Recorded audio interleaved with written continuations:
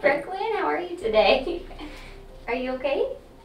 My goal as your child's doctor is to make sure that each time your child leaves my office, they feel loved and valued, and that the parent leaves the office feeling well taken care of and that their voices were heard. I really try and um, look at each child's unique situation.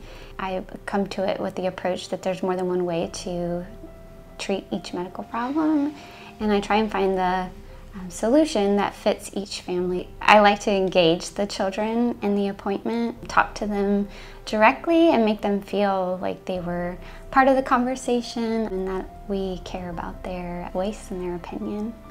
Growing up, I knew that I wanted to work with kids and I really had the desire to be a doctor. So putting those two things together was pretty obvious that um, pediatrics was the best fit.